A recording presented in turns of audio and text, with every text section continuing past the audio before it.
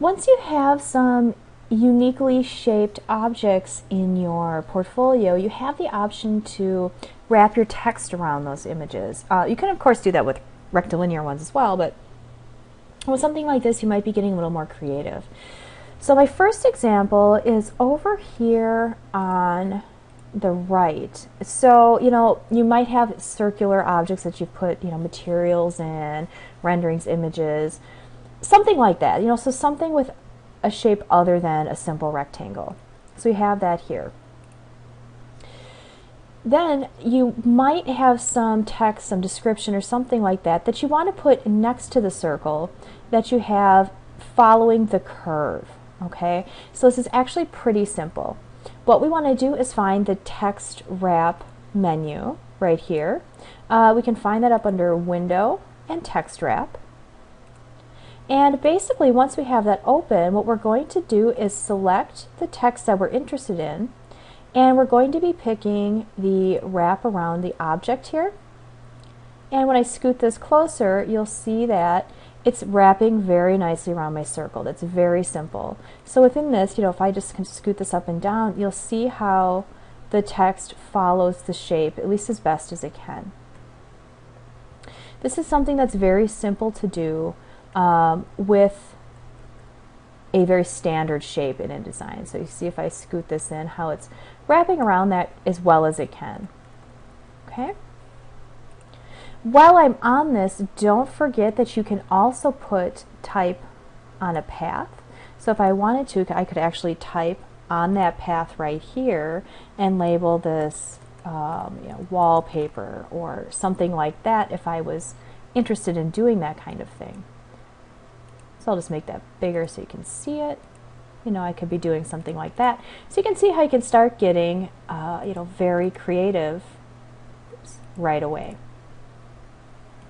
Okay, that's a very simple example. But let's say you've done something a bit more complicated. Uh, you know, for example, we have this, this deer over here. If I want this text to wrap around the deer, you'll see that it's just kind of going behind there right now.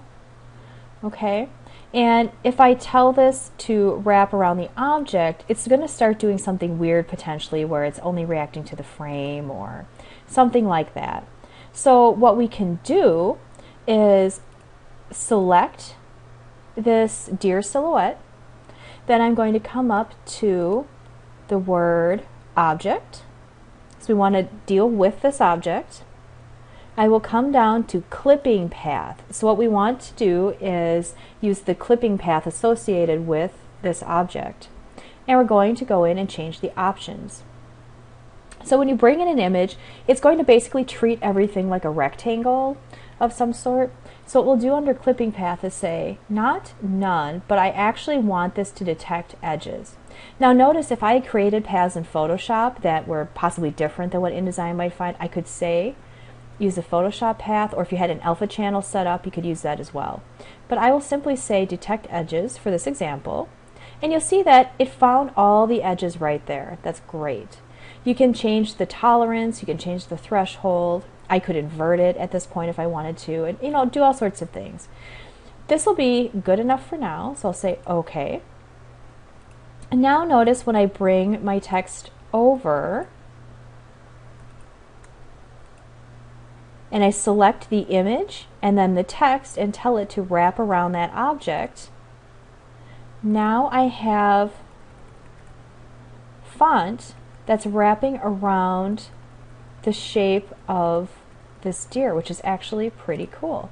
So this would follow it anywhere. Oops, I moved the deer instead. But you can see actually that's a good example. If I move the shape, the text will move with it. So it works both ways. So you can do some very, very interesting things with text by following the shape of an option using its clipping path.